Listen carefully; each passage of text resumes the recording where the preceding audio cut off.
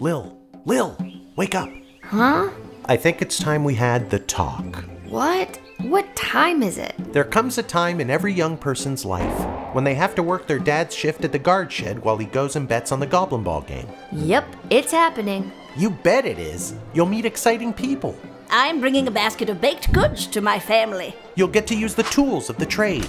You wish to challenge me to ceremonial combat? And if you get in trouble, just pick up the phone and call one of the official advisors. They're always happy to help. Wait, you're gonna have everyone I know thrown in jail?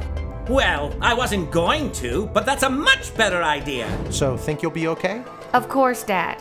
But if I'm gonna do this, I'm gonna do things my way.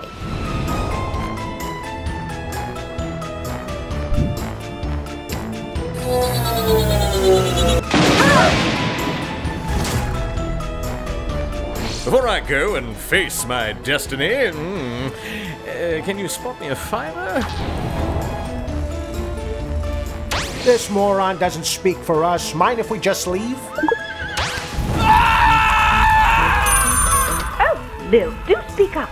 I can barely hear you over all that racket. Do not admit anyone else today. We're full up to half an hour. Is it that you don't have it, or that you don't want to give it to me? Orlando was a a real a pardon my goblin. Wait a minute. You're gonna give me, a 12 year old, the power to rewind time? Well, I wasn't going to, but that's a much better idea. Try not to do any irreversible damage.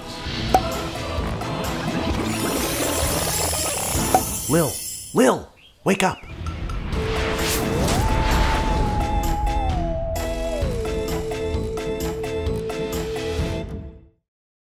英雄。